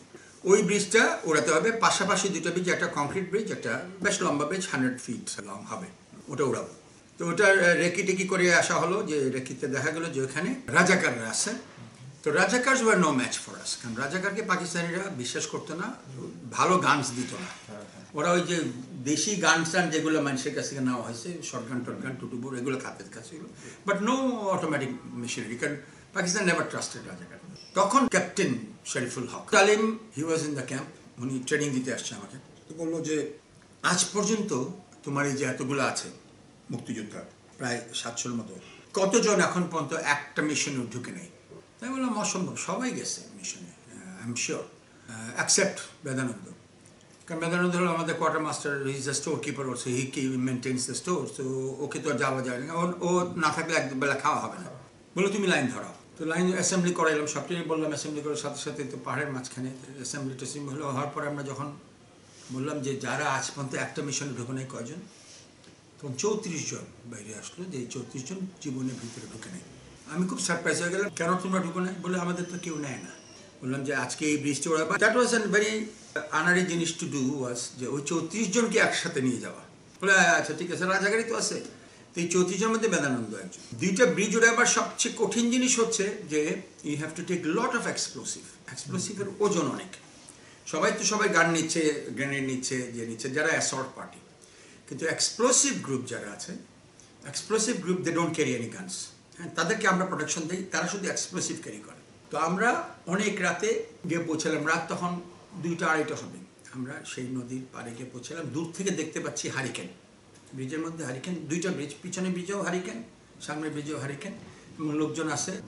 পাশেই একটা বাসঝাড় একটা বাসঝাড় বিরাট বড় বাসা ছিল এটা প্রচুর জঙ্গলি বাসঝাড় ওটার নিচে আমরা গিয়ে সবাই জড়ো হব। তারপর আমরা কাভার পার্টি ক্যাটক পার্টি এগুলো সব করব। কারণ ওখান থেকে জুড়ি কিন্তু মাত্র দুই কিলোমিটার দূরে। জুড়িতেই পাকিস্তানের একটা বড় ঘাঁটি। ওখানে যখন গেলাম, হয়েছে কি, কাছাকাছি যখন গেছি, আর Bedananda was carrying a big ammunition ঘাড়ের মধ্যে একটা এক বাক্স এক্সপ্লোসিভ সে কাছাকাছি আসতে বলছে, এখানে রাখো বলতে ধপাস করে ফালাইছে। এমন জোরে শব্দ হয়েছে এটা পড়ছে। প্রত্যেক যারা জায়গাটা টের পেয়ে গেছে, এখানে কিছু হচ্ছে বাসের মধ্যে। দে ফায়ার অন আস ওরা গুলি করছে। গুলি করতে আমি লাভ দিয়ে পড়েই চারিদিকে আমরা মুক্তিযোদ্ধা, তোমাদের সারাউন্ড করছি, তোমরা ওয়েপন্স ফলে হাত তুলো। কথাবার্তা বলতে কারণ তো জানি, অনেক কোনো পাকিস্তানি নেই। বলার সাথে সাথে আর আরেকটা গুলি করছে, গাদা বন্দুকের গুলি। দেন আই ওপেন ফায়ার তো স্ট্যান্ড গান দিয়ে যখনই ওপেন ফায়ার করছি, রাজাকার তো এখানে লুঙ্গি ভুঙ্গি ফালায় উঠে দৌড়। দুইটা রাজাকার মনে হয় মরেও গেছে। এদিকে দিছে রাজাকাররা দৌড়, এদিকে চৌত্রিশ জনের মধ্যে প্রায় ত্রিশ জন এই যে এরা সবাই এক্সপ্লোসিভ ক্যারি করছিল, এগুলো তো যেই যেখানে আছে ওখানে ফালায়া উল্টা দৌড়। এখন আমরা পড়ে গেছি মাত্র কয়েকজন, যে নেতৃস্থানীয় যারা কয়েকজন ছিল, এর মধ্যে লিয়াকত বলে একটা ছেলে ছিল, দুর্দান্ত সাহসী কুমিল্লার। সে আছে, খয়ের বলে একটা ছেলে ছিল, সেও মারা গেছে। খয়ের আমার সাথে, খোকন আমার সাথে। তখন আমরা বললাম, তাড়াতাড়ি এক কাজ করো এক্সপ্রেসিভ তো আনতে হবে, আনার তো কেমন একটা ব্রিজ উড়াই। আরসি ব্রিজটাই উড়ে রেলওয়ে ব্রিজটা থাকুক। আমরা গেছি ওখানে গিয়া। তো লিয়াকত হচ্ছে ব্রিজের ওই পারে। লিয়াকত এক্সপ্লোসিভ লাগাবে আর এই পারে আমরা লাগাতে একটা ব্রিজের এক্সপ্লোসিভ লাগাইতে হয়। পিলার আছে না? পিলারটার মধ্যে এক্সপ্লোসিভ লাগাইবা। এই ডান দিকে মারছে ব্রিজের এক সাইড ডান দিকে এক সাইড বাদিক হইলে এটা কেটে যায়। ঠিক তখনই উপরে একটা প্রেশার চার্জ যেটা দাবাবে। তো ঠ্যাংটা কাটলো আর দাবলো একই সাথে। হইলেই ব্রিজটা দাবাক মানে পড়ে যায়।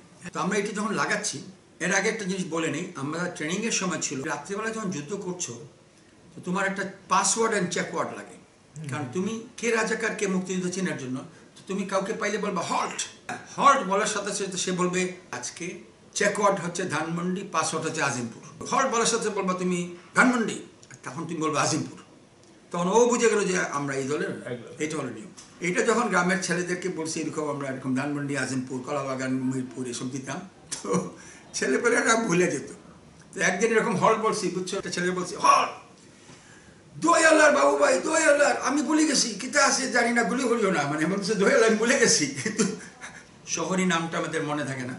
আর গ্রামের নাম নিলে আমরা মনে থাকবে না। তো ডিসিশন হলো যে এখন থেকে যে দল নেতা থাকবে, তার নামই পাসপোর্ট এবং তার নামই চেকওয়ার্ড হট, বাবু, এও বলবে বাবু। তখন বুঝলাম আমাদের দলের লোক। তো ওই দিনের পাসওয়ার্ড হচ্ছে বাবু। এই আনতেছি এক্সপ্লোসিভ এখন আমরা বেড চার্জ লাগাচ্ছি নিচে cut off charge for the আর উপরে লাগাচ্ছে একজন, ওই পারে লিয়াকত লাগাচ্ছে। তখন একটা ছেলে দৌড়ে যাচ্ছে এবং সে এক্সপ্রেসিভ আনতেছে। যাচ্ছে একসঙ্গে কয়েকজন এরকম, দৌড়াদৌড়ি করতেছে, আর আমরা এক্সপ্রেস লাগাচ্ছি, আর এর দৌড়া যা আনতে পারে। এখন আমরা চার্জ চার্জ লাগানোর পরে কিন্তু একটা ফিউজ নিতে হয়। যে ফিউজে তুমি আগুন ধরে আসবা ফিউজটা পরে এক মিনিটে এক ফুট। আমরা দশ বারো ফিটে ফিউজ নিয়ে যাই, লাগায়া ফিউজের সামনে একটা টুটু ক্যাপ লাগাইতে হয়। এক্সপ্লোসিভ এখন পুডিংয়ের মতো দেখতে, যে কাছে যে পুডিং লাগায় এরকম দেখতে।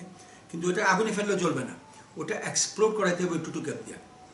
ওই টুটু ক্যাপের আগে ফিউজ লাগাইতে হয়। তো আমরা তো দশ বারো ফিটে ফিউজ নিয়ে গেছি যে কাইটে কেটে লাগাবো। এদিকে কিন্তু লিয়াকত কিন্তু ওই সাইডে লাগাচ্ছে। আমি নিচে তখন তো গোলাগুলি হয়েছে, নিচে এসে লাগাচ্ছি, হাত পা কাঁপতেছে। সে অলরেডি বেল চার্জ হয়ে গেছে তার গলায়, সে উপরে এসে প্রেশার চার্জ দিতেছে। ঠিক আমার উপরে দিয়ে কিন্তু ব্রিজটা চিন্তা করো আমার মাথার উপরে দিয়ে ব্রিজটা মাথার ব্রিজের নিচে আমি। যে ঠিক আছে একটা ব্রিজ জোড়ার মতো এক্সপ্লোসিভ তো দুই ব্রিজের প্রচুর এক্সপ্লোসিভ টুটুকে লাগায় এক্সপ্লোসিভের ভিতরে ঢুকে দিতে। তো এই দৌড়ে দৌড়ে আনতে কি হঠাৎ সে দৌড়ায় আসছে এসে হাঁপাই দিছে স্যার পাঞ্জাবি। বুধুর পাঞ্জাবি কইতে আল্লাহর কসম স্যার পাঞ্জাবি। আমরা তো প্রিপেয়ার্ড না আমরা জানি এখানে কোনো পাঞ্জাবি নাই। হয়েছে কি ওই দিন রাত্রেবেলা এক সেকশন মানে বারোটা পাঞ্জাবি আইসা ওই রেলওয়ে ব্রিজের গোড়ায় ক্যাম্প করছে। করছে কারণ তারা সামহাও রিয়েলাইজ করছে, অথবা ইটস ইম্পর্টেন্ট যে এখানে এক সেকশন পাকিস্তানিকে রাখতে হবে। ওই পাকিস্তানিরা ওই দিন রাতে আসছে, তো ওরাও বুঝতেছে না ব্যাপারটা কী হচ্ছে। এদিকে যে গুলাগুলি হয়েছে রাজাকারের সাথে, ওরা করছে কি রেলওয়ে ব্রিজটা ওই সাইড থেকে ক্রস কইরা এই ব্রিজ এখানে আসতেছে। বলতেছে, বাবু তুমকে ধরো, বাবু তুমকে ধরো। আমাকে বাবু, ডাকতেছে? ব্যাপারটা কি? আমি তখন বলছি মেয়েদার হুম ইদার আয়। আমরা তখন কথা বলি তো মেয়েদার হুম ইদার আয়ে কেদার তুমি কেদার আপনার আদমি হোক কেদার এম বলতেছে আইসা দাঁড়াইছে এইখানে, আর আমরা ব্রিজের নিচে। আমি খয়েরকে একটা কখনো বসছি যে, আমি ওপেন না করলে ওপেন করবি না। এইখানে যখন দাঁড়াইছে মানে দশ ফিট সামনে স্টেন গান দিয়ে মারলাম গুলি। করে শব্দ হলো পিছনের থেকে শব্দ হলো আর এ ধাপাং করে পড়ে গেল ব্রিজের উপরে। এখন কিন্তু টের পাই দিয়েছে একটা লাভ। লাভ দিয়ে কেটে পড়ছে নদীর মধ্যে জমা করে। আমি ব্রিজের ফাঁকে যে তাকায় দেখি কি, তার গায়ে গুলি লাগে নাই। ওর গায়ে লাগে না, ওর পিসের গুলি লাগছে। আমি তখন করলাম কি স্ট্যান্ড গানটা, তাই না? ওইখান থেকে, এখান থেকে এখানে ফায়ার করছি, টক করে শব্দ হলো মানে গুলি তো শেষ। হ্যাঁ। আমি তখন নিচে নামছি, তারপর স্ট্যান্ড গানের ম্যাগাজিন বদলে মনে লাগায়, উপরে গিয়া এই যে গুলি করছি, পুরা আঠাইশ রাউন্ডলি ওর উপরে। ও এইভাবে বেঁকে গেল করে নৌকার মতো, বুঝছ? ঠ্যাং উঠে গেল উপরে, মাথাটা উঠল এইভাবে, এবং ধপাস করে পড়ল। আর ওইদিকে দুইটা গঙ্গাইতেছে ইন দি মিনটাইম ওখানে বান্দা হয়ে গেছে, নিচে নেমে এই মাত্র মারছি পাঁচ ফিট দূরে একটা লোক রে রক্তর গন্ধ ব্রালুতে গন্ধ, বিত্তিকে ছিঁড়ে ব্যাপার। প্যান্ট পুন তো নষ্ট আমাকে পোলা পাইন পালাই গেছে। আমরা কয়েকজন এটাকে আগুন কোনো মতে লাগাইছে। একটা লাইটার দিছিল একজন রনসন লাইটার বলে এক সিলেটি এসে আমাকে দিছিল। সেই রনসন লাইটার এমনি জ্বালাইতে পারি না। চিপ দেওয়া লাগে।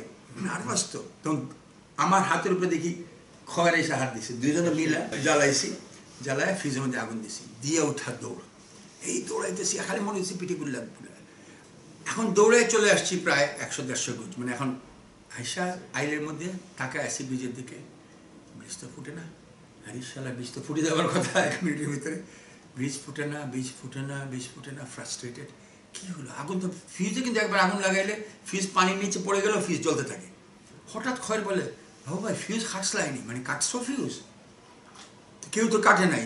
বারো মিনিটের ফিউজে মানে ওখানে লাগাই বসে মানে বারো মিনিট পরে ওটা ফুটবে। এর মধ্যে ধাপাং করে একটা শব্দ হলো গ্রেনেড মারছে। এতক্ষণ পরে ওরা গ্রেনেড মারছে। ওরাও উজবুক্ত এর আগে কিন্তু গ্রেনেড মারলে কিন্তু আমরা মরে যাই। ওটা পাকিস্তানিরা তখন গ্রেনেড মারা আরম্ভ করছে। তারপরে ফুটলো ব্রিজটা হ্যাঁ এই ব্রিজটা উঠল এবং ওই দুইটা যে গোলাগুলি করতেছিল, ওটা থেমে গেল। সো দিস দ্য স্টোরি যখন ফেরত আসতেছি পথে পথে পাই ওগুলা। বাবু তুমি বাসে আসো মানে ওই যে পালাইছিল পালাই এক মাইল দেড় মাইল দূরে দূরে দাঁড়িয়ে রয়েছে। কিন্তু এখন প্রশ্ন রয়ে গেল যে এই জানে কেমনে আমার নাম? বাবুটা কেমনে জানলো? হয়তো একটা রাজাকার ছিল বাবু অথবা। কিন্তু আর আমি যে তোকে ডাইকে না মেয়ে ইদার হোক ইদার আইয়ে। সে আইছে হাট। সে যখন এখানে এসে দাঁড়াইছে তখনও কিন্তু বন্দুকটা তার অ্যাসল্ট পজিশনে তার ঘাড়ের মধ্যে বন্দুকটা ঝুলতেছে। হ্যাঁ। তো এই হলো স্টোরি সেই হাতমার। এত বছর পরে এই সেলিমকে নিয়ে দুই তিন বছর আগে আমরা গেলাম বড়লেখাতে দিয়ে দেখতে। সাতকরা গাছে দেখতে হ্যাঁ। তো ওই টিলার উপরে উঠছি যে সাতকরা দেখতে যাব। ওইখানে গিয়ে টিলার উপরে গিয়ে বললে, তো কথা উঠল যে সাতমা ব্রিজ। তখন একটা লোক, আমি দেখে একটু খারাপই লাগছে যে মানে একটা বড় একটা লোক। সে বলে, আমি তো জানি, আমি তো হাতমাতে আমার বাবা ছিলেন পাহারাদার। রাজাকার? না না না, ওখানে তো গ্রামের সবাই পাহারা, তো না হলে তো মেরে ফেলেবো। আমার বয়স তখন চোদ্দ, পনেরো। ও দাড়ি টাড়ি রাখা বিরাট এখন। তো স্টোরিটা বলল, আমি বললাম, কয়জন মরছে? বলল, যে তিনটা লাশ নিছে এতদিন পরে আমি জানলাম যে আমি তিনটা মারছি। এখন আমার গুলিতে মরছে, আমার গুলিতে একটা মরছে পর শিওর ওইগুলো তো হয়তো খয়ের গুলি বা আমাদের গুলিতে মরছে। তো এই হলো আমাদের অ্যাচিভমেন্ট পাকিস্তানি তিনটাকে মারছি ফর শিওর আমার ইঞ্জুরি তো that was my last fight of course এর আগে বেশ কটা করেছি, বেশ নাম ডাকও হয়েছে আমাদের। আমরা কিছু বেশ কটা ব্রিজ উড়িয়েছি এটা হলো দিলখুশ চা বাগান। দিলখুশ চা বাগানটা হচ্ছে হুমায়ুনের সাইডের একটা চা বাগান, জুরি জুরি এরিয়াতে। সেই দিলখুশ চা বাগানে এক কোম্পানি পাকিস্তানি সোলজার থাকে, একশো পঁচিশ জন। আমরা কখনো এত বড় পাকিস্তানি আর্মিকে অ্যাটাক করিনি। জেনারেল কুমার আসলেন আমাদের ক্যাম্পে এসে বললেন যে, একটা বড় অ্যাটাক তোমাদের করতে হবে এবং তোমাদেরকে আমরা ব্যাকিং দিব। আর্টিলারি দিয়ে রাজি হয়ে গেলাম যে আমরা অ্যাটাক করব। আমরাও দেড়শোর মতো মুক্তিযুদ্ধে সব প্ল্যানিং ট্যানিং হলো। আমরা ওখানে গিয়ে পৌঁছালাম দিলখুশ চা বাগানে। একটা কলঘর আছে, একটা সাহেবের বাংলো আছে। এই দুটোতেই পাকিস্তানিরা থাকে, একশো পঁচিশ বাগাবাগি করে থাকে। আমরা অ্যাটাক করব, একটা একটা দখল করার পরে সেকেন্ড অ্যাটাক করব। আচ্ছা এর আগে ছিল, আমাদের দুইটা পার্টি যাবে। গিয়ে ওই দিলখুশের দুইটা রাস্তা আছে, একটা জুরি থেকে আসে, একটা লাতুর থেকে না কথা থেকে আসে। ওই দুইটা রাস্তার দুইটা ব্রিজ উড়িয়ে দেওয়া হবে, যাতে পাকিস্তানের রিইনফোর্সমেন্ট না আসতে পারে। কারণ জুরিতে পাকিস্তানের বিরাট বড় একটা ঘাঁটি আছে, ওখান থেকে রিইনফোর্সমেন্ট চলে আসবে। তো দুটা পার্টি গেছে এবং তাদেরকে বলা হয়েছে যে ভোর সাড়ে তিনটার দিকে বা চারটার দিকে তোমরা ব্রিজ দুইটা উড়াই দেবে। আমরা কাছাকাছি গিয়ে বসে আছি। প্রথমে একটা ধাবাং করে শব্দ হলো, একটা ব্রিজ উঠল সাথে সাথে আরেকটা শব্দ হলো, তো আমরা শিওর যে রিইনফোর্সমেন্ট আসতে পারবে। আসলে হয়েছে কি, একটা গ্রুপ পৌঁছাতে পারেনি ব্রিজে। এর আগে এম্বুশ হয়ে গেছে তারা। আর আরেকটা গ্রুপ গিয়ে দেখছে ব্রিজটা বেশি বড়। ওরা দুইটা এক্সপ্লোসিভ লাগাইছে। প্রথমে একদিক পড়ছে পরে আরেকটা উঠছে, দুইটাই শব্দ পাইছি আমরা, সবাই কনফার্ম যে দুইটা ব্রিজ উঠছে, আসলে একটা ব্রিজ উঠছে। ওই একদিক খালি রয়ে গেল। প্রথম গুলিটা যখন আসে পৌঁছলো, পড়ল। এই প্রথম গুলিটা ওয়াজ ভেরি ডেঞ্জারাস কারণ সেই গুলিটা আমাদের উপর করতে পারতো। এত দূর থেকে, এত দশ কিলোমিটার দূর থেকে একটা গুলি আসতেছে। প্রথমটা পড়ল একটু দূরে, তারপর ওটাকে এত ডিগ্রি নিচে, এত ডিগ্রি রাইটে এসব বলার কথা, এগুলো আমাদের মাথার চোর ফেলে বলে বাদ দেন। দুইশো গজ নিচে আসেন আর তিনশো গজ ডাইনে যান। হ্যাঁ এটা যখন বলা হলো, পরের নামটা একদম পড়ে গেল ঘরের উপরে। ব্যাস, বলল, পড়ে গেছে টার্গেট ওরা কইলো বুলজাই বুলজাই আমরা জানতাম না কিন্তু বুলজাই মানে পড়ছে। ওই টার্গেটে তারা চারশো রাউন্ড গুলি করল। তো ছয় ইঞ্চি মোটার চারশো রাউন্ড এসে পড়ছে অলরেডি ফেনা ফেনা তো হয়ে গেছে পাকিস্তানিরা। যদি ওরা বাংকারের ভিতরে। যুদ্ধ, ওই কনভেনশনাল ওয়ারের মধ্যে কয়েকটা সিস্টেম আছে। একটা হলো কাট অফ পার্টি ওই যে দুইটা পার্টিকে কাট অফ করব। আর একটা হচ্ছে কাভার পার্টি এরা কাভারিং গুলি করবে, এই টিলার সাথে এই টিলার যুদ্ধ চলবে। তারপর হচ্ছে অ্যাসল্ট পার্টি অ্যাসল্ট পার্টি থাকবে নিচে। আমরা তিনটা গ্রুপ অ্যাসল্ট পার্টিতে আমি একটা, আমার ডান পাশে হলো আতিক, সেই আতিক, যে আতিক প্রথমে অবজেকশন দিয়েছিল আমার নেতৃত্বে। আর আমার বা পাশে খায়ের বলে একটা ছেলে। দুঃখ লাগে যে আতিকও মারা গেছে খয়রও মারা গেছে, আমি এখনও বেঁচে আছি আমরা শুয়ে আছি, আমাদের সাথে আট দশজন করে আমরা যাব।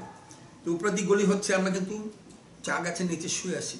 তো কাভার পার্টি যখন প্রথমে আর্টিলারি শেলগুলো শেষ হয়েছে, তারপর কাভার পার্টি গুলি করে যাচ্ছে। গুলি করতে করতে একটা সময় আসছে যখন আমরা যাব সিগন্যাল আসছে, আমরা ঢুকবো। এখন আর উঠতে পারতেছি না। ওইটা যে জয় বাংলা বলে দাঁড়ায় যে দৌড় দিব সাহস হচ্ছে না। আমি ডান দিকে তাকা দেখি আতিকও এরকম শুয়ে আছে বাদিকে তাকা দেখি খয়েরও শুয়ে আছে। আমাদের এই, এক একজন একজন তিরিশ, চল্লিশ গজ দূরে। হঠাৎ দেখি আতিক লাভ দিয়ে উঠছে।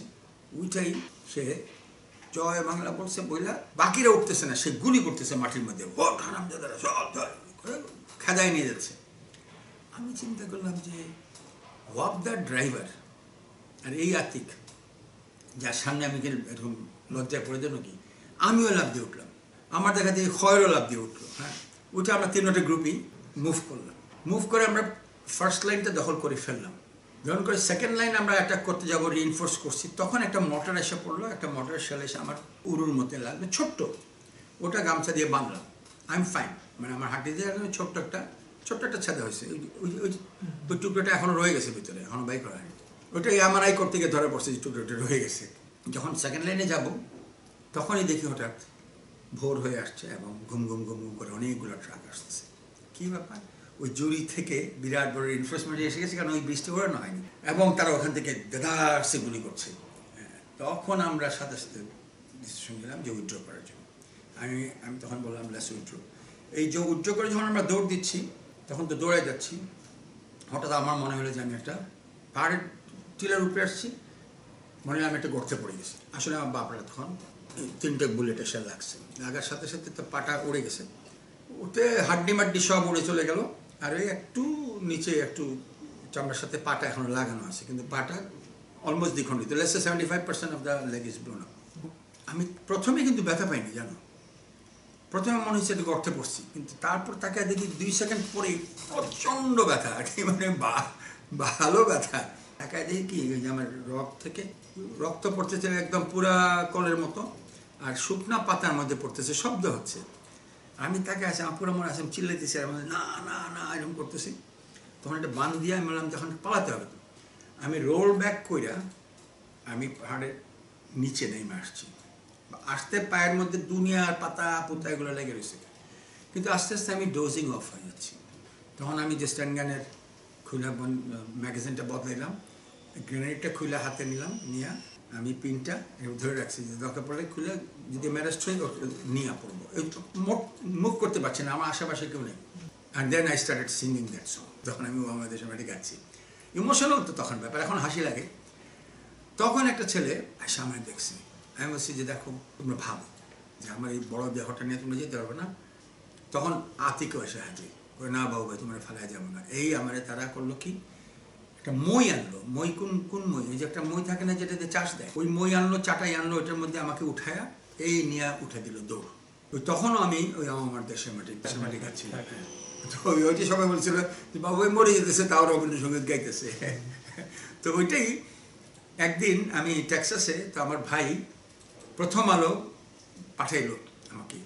তো আমেরিকায় প্রথম আলো একটা পাঠাইছে বহু বহু টাকা লাগছে পাঠাইতে বুঝছ? ডিএচএল কইরা। তো বলে পত্রিকা পাঠাইলাম। তো আমি বললাম যে কি একটা পত্রিকা কেউ পাঠায় নাকি? ঢাকা থেকে সেই আমলে বুঝছ? তো খুলে দেখো তো খুললাম। তো দেখি যে মুক্তিযুদ্ধের অজানা স্টোরি দশটা। দশটার মধ্যে দুই নম্বর স্টোরিটা হচ্ছে আমার এই ঘটনাটা। যে রবীন্দ্রনাথের এই সাধু শতবার্ষিকী সে যে রবীন্দ্রনাথের অবদান বাংলাদেশের মুক্তিযুদ্ধের মধ্যে যে মুক্তিযোদ্ধারা রবীন্দ্রসঙ্গীত খায়াও যুদ্ধ করছে। ইঞ্জুর হওয়ার পরে আপনার পরে আপনি কি করলেন বা কোথায় গেলেন? ইঞ্জিন হওয়ার পরে তো প্রথমে আমার প্রায় দুই দিন লাগল আমাকে ইন্ডিয়ান মিলিটারি হাসপাতাল যেটা বদরপুর। সেই বদরপুরে নিয়ে যাওয়া হলো। সেই বদরপুরে আমাকে তো তারা দেখল যে পা এটা হাড্ডি বাড্ডি নাই তারা প্লাস্টার ফ্লাস্টার করল করে বলল যে আলটিমেটলি তোমাকে এটা অ্যাম্পুট কেটে ফেলতে হবে বা বাট আপাতত প্লাস্টার টাস্টার করে দিলাম। আমি তো এখানে পড়ে আছি। এখন আমারটা তো এত সিরিয়াস না আমার পা উড়ে গেছে। কিন্তু ডেইলি তো ডানে বাই আছে চোখ নাই হাত নাই পা নাই ডানে বাই সো ওরা প্রায়োরিটি আর আমার তো প্লাস্টার করে দিচ্ছে আমার কিছু করার নেই। হ্যাঁ। নার্স তো নাই কারণ মিলিটারি আসলে সব ছেলে। নার্সগুলোও ছেলে বুঝছ? কেরালার সব ছেলেগুলা। সো কিছুই করার নাই। তখন আতিক আসছে। সেই আতিক। আতিক আইসা হাতে ধরে কেঁদে দিচ্ছে বাবু ভাই হয়ে গেল এরকম। আমরা এখন কি করি? আমাদের তো নেতা নাই। তখন আমি বললাম সেলিম, আমার ফ্রেন্ড ছিল সেলিম। তখন জিএলডাব্লিউ ট্রেনিংয়ে ছিল। তখন আমি বললাম যে, সেলিমকে খাবার দাও। তো ওখান থেকে ট্রেনিং থেকে সেলিমকে বানায় দেওয়া হলো তখন। আমি আতিককে জিজ্ঞেস করলাম, আতিক, তোমার এত সাহস কেমনে হলো? বলে, কি? ওই যে আমরা যখন অ্যাসল্ট করতেছিলাম দিলকুশে আমি তো নড়তে পারতেছি না। উঠতে পারতেছি না মাটি থেকে, সে উপরে দিয়ে গুলি যেতেছে। তুমি যে লাভ দিয়ে উঠে জয় বাংলা বলে, আগাইলা, ওটা দেখে তো আমি ভ্যা করে কেন যেতে বলে কিটা হো বাবু ভাই? আমি দেখি মিনিস্টার সাহেব ফুয়া ফালমারি উঠিয়া যার গিয়ে কোনো ডয় ভয় নাই। তোমারে দেখি আমি লাভ দিয়ে উঠলাম। সাহসটা ছোঁয়াছে ভয়টাও ছোঁয়াছে যেমন একজন কান্না করলে কিন্তু বাকি সবাই কান্না করা, আরম্ভ করে একজন হাসলে হাসে ওই সাহসটাও একজন আরেকজনকে দেখে সাহস হয়। এমনি কিন্তু তোমার সাহস হবে না, কিন্তু যখন আদিককে দেখছি আমি, আমার সাহস হচ্ছে ও দেখছে আমারে, আমার সাহস হয়েছে। তো এটা হলো ছোঁয়াছে রোগ। তারপর ওখান থেকে তো মিলিটারি হাসপাতাল ওখানে। তো এর মধ্যে হয়েছে কি কয়েকদিন পরের থেকেই দেখি আমার এই প্লাস্টার তো আমার এটুকু পর্যন্ত, কমর পর্যন্ত প্লাস্টার তল তো আমার এই জায়গায় আর এই জায়গায় খালি চুলকায়।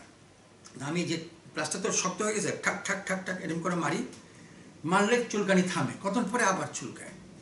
আমি বলছি, জমাদার তো বিরাট বড় ঝাড়ু নিয়ে আসে, ঝাড়ুর একটা ডান্না ভেঙা আমি ওইটা ঢুকায়া ওই জায়গায় এরকম করে গুতাই, গুতাইলে একটু ভালো লাগে।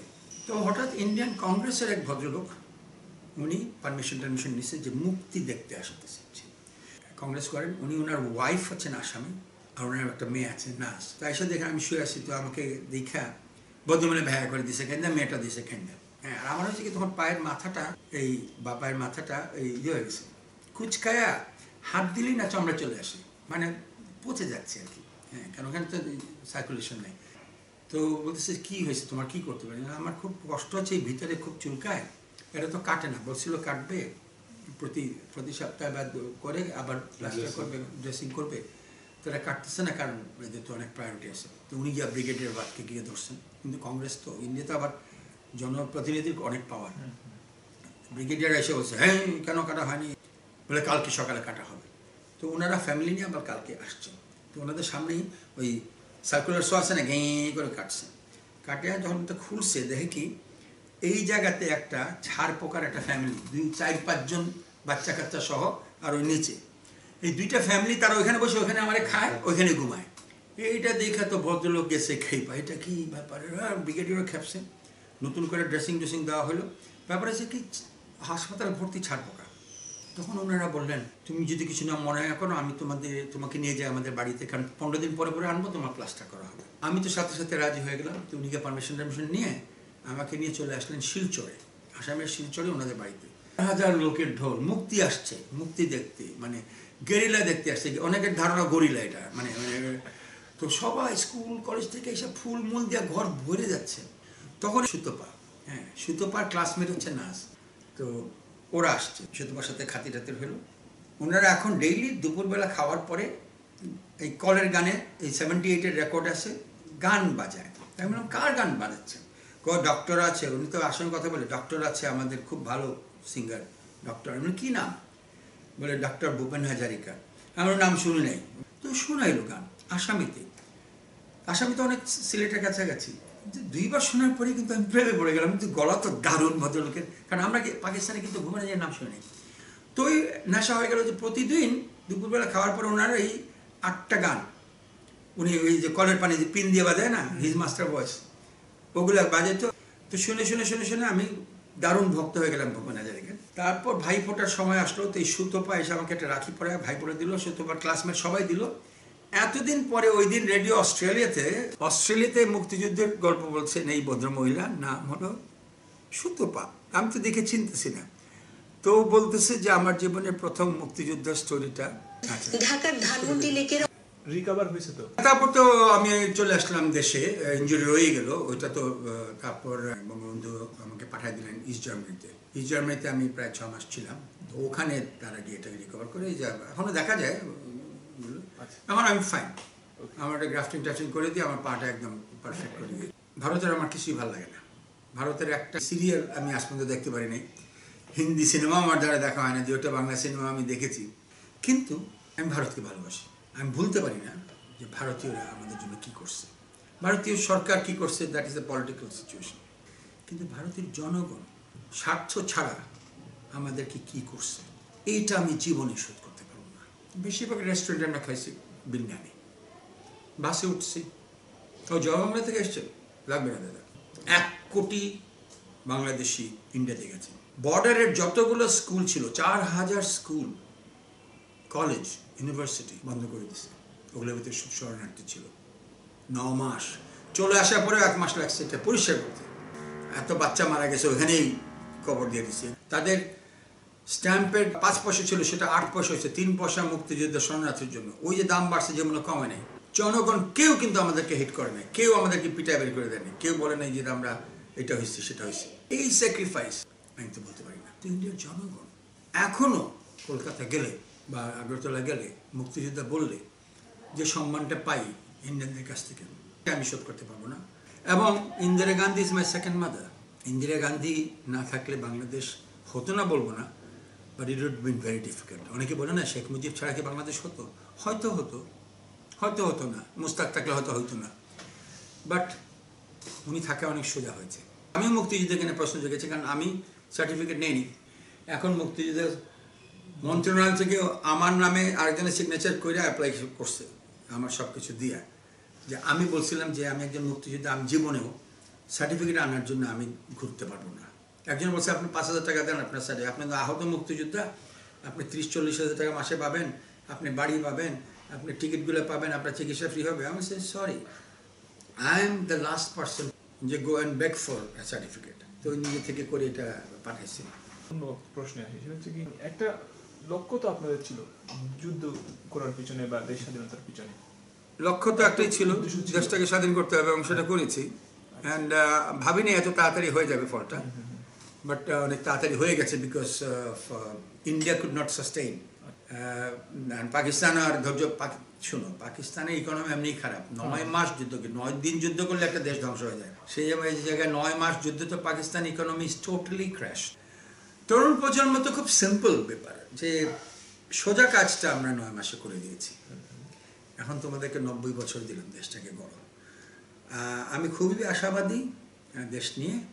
কারণ তোমাকে সিম্পল একটা স্ট্যাটিস্টিক্স দিই। স্ট্যাটিস্টিক্স তো তোমরা জানো যে পাকিস্তান থেকে আমরা সব দিক দিয়ে ভালো আছি বাট যে কোনো জিনিস করতে গেলে একটা স্বপ্ন লাগে। First you have to dream then you have to take the first step আমি এই বয়সে আমি সিক্সটি এইট ইয়ার্স ওল্ড দশ পনেরোটা বাইপাস আছে স্ট্যান্ড ফ্যান্ট আছে হাউকাউ পেস মেকার নিয়েও আমি এখন হাজার কোটি টাকার প্রজেক্টে হাত দিছি।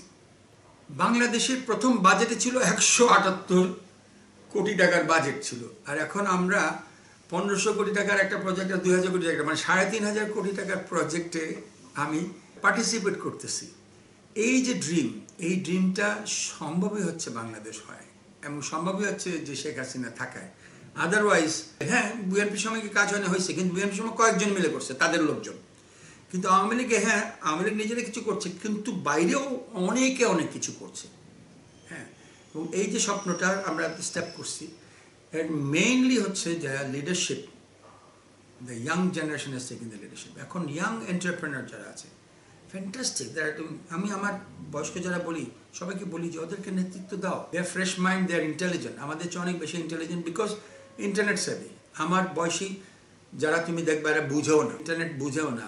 ইমেল ফিমেলই বুঝে না। হ্যাঁ আমার লগের যতগুলো আছে। আমি ডিফারেন্ট আমি প্রথম থেকে এগুলোতে আছি। তো you have to be with that day every day is a new technology and every day একটা পণ করে নাও যে daily I learn something new and you must learn something new every day এটা ছোট্ট একটা ব্যাপারই হোক। Learn something new every day and that will lead you the time will come এবং এই যে সবাই স্বপ্ন ভাবতো যে পদ্মা সেতু করে ফেলবে কিনা হয়ে যাচ্ছে। এই যে এখন vision two thousand vision two thousand thirty vision forty এগুলো কিন্তু হবে। বলে কাছাকাছি যাবে, কয়েকটা সারপাস করে যাবে।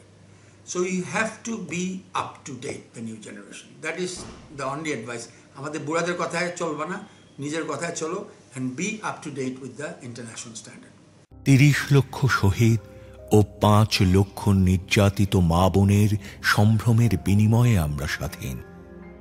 লক্ষ লক্ষ মুক্তিযোদ্ধা বীরত্বের সাথে যুদ্ধ করেছে বলে আমরা স্বাধীন। হাজার হাজার যোদ্ধা বীরত্বের সাথে যুদ্ধ করে শহীদ হয়েছে বলে আমরা স্বাধীন। কোটি কোটি লোক আমাদের সমর্থন করতে গিয়ে অবর্ণনীয় দুঃখ কষ্ট সয়েছে বলেই আমরা স্বাধীন। হাজার বছরের শ্রেষ্ঠ বাঙালি, জাতির জনক বঙ্গবন্ধু শেখ মুজিবুর রহমানের কাঙ্ক্ষিত বাঙালি জাতীয়তাবাদী চেতনার বিকাশ, শোষিতের গণতন্ত্র, শোষণমুক্ত বৈষম্যহীন সমাজ, মানবিক মূল্যবোধ, সামাজিক ন্যায় বিচার, সামাজিক, অর্থনৈতিক, রাজনৈতিক সাম্য প্রতিষ্ঠা করে জনগণকে ক্ষমতার প্রকৃত মালিক করে আমরা এদের ঋণ শোধ করতে পারি। আসুন, আমরা আমাদের পূর্বসূরিদের ত্যাগকে স্মরণ করে তাদের নির্দেশিত পথে দেশকে এগিয়ে নেই। জয় বাংলা।